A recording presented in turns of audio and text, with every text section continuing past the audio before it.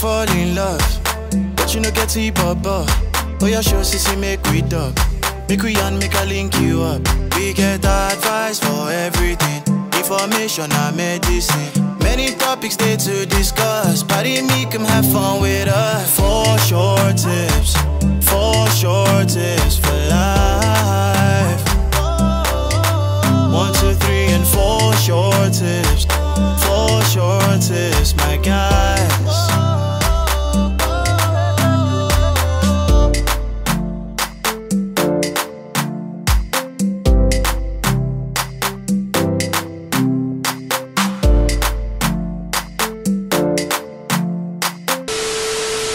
Welcome to Four Short Tips episode 7. Huh. Seven, that's seven weeks, man. Seven weeks of giving you back to back tips. I mean, I've tried now. Seven weeks. I've been consistent.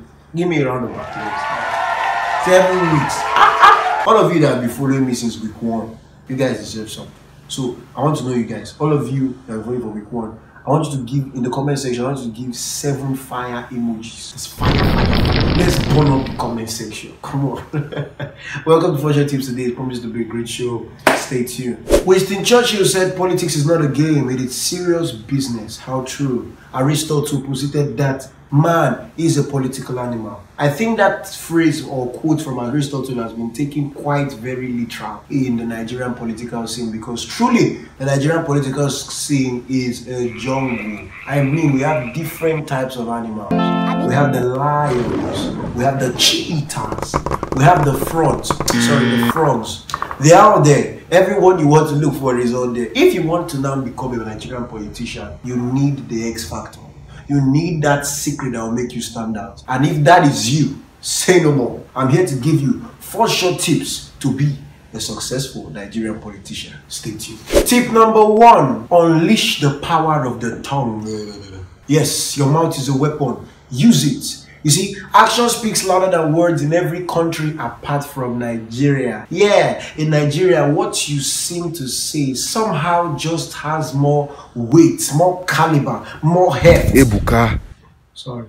it's too early. More vigor, more tenacity, more power than what you actually do, perpetrate, orchestrate, implement. Ebuka, No vex. No vex. Here, anything you you can actually do anything you want. Anything you want. And when people start roaring, all you have to do is just to come out and say, I didn't do it. And guess what will weigh more? Your words. For example, why do you think that someone would do this? And all he had to do was just to say this. And guess what? In the scale of Nigerian politics, between his actions and his words, which do you think weighed more? His words! so basically, so far your mouth is alright, you go there alright. Which moves me to the next tip. Tip number two contradictor a la everything. Yes, for you to be successful in Nigerian politics, you must be a master of contradictions. Yeah, very simple. Make a law, contradict it. Ooh, sign a bill, contradict. Do, do, anything you want, just contradict it. Contradict it. contradict it. For example, we saw the signing of the bill, not too young to run bill. Everybody knows that bill, which made it eligible or actually reduced the age for eligibility to contest for the presidential or governorship elections to 35 years of age. That was so wonderful. But they actually did nothing about the cost to actually contest for that election. As a matter of fact, in the just concluded APC primaries for the forthcoming Edo and Ogun state elections, the nomination form alone was 20 million naira. That's not even one that busted my head. Allow me to use the word busted. The one that tore my head was that the declaration of interest. That's for you to just think about it. 2.5 million naira. So, 35 years of age, yeah, but that 35 years of age guy must have 22.5 million naira for starters. that is like finally giving men paternity leave on the condition that they have proof of them breastfeeding the baby. Contradictions takes you to the next tip. Tip number three. Tip number three. You must have a hidden talent. Yeah. You see, this one, without this one, your result will be incomplete. Nigeria is like a reality show. And if you're not doing something new to boost your viewer ratings, they will evict you, they'll kick you out. So you must have a hidden talent. Do I say it's hidden? Because you didn't actually show it when you were running for the office. For example, you could be singing ẹni tí ò tó ní nà tí ń dènà dé ní àti ẹkún ìyá. or dancing. Or most importantly, acting. Whatever it is, that was terrible acting by the way. Whatever it is, you must have a hidden talent. With that hidden talent, your success is sure. Let's go to the next tip. All tips were born equal, but some tips are more equal than the others. This next tip is key for your success if it gets ingrained into you. Ingrained into you. Tip number four: you cannot shame the shameless.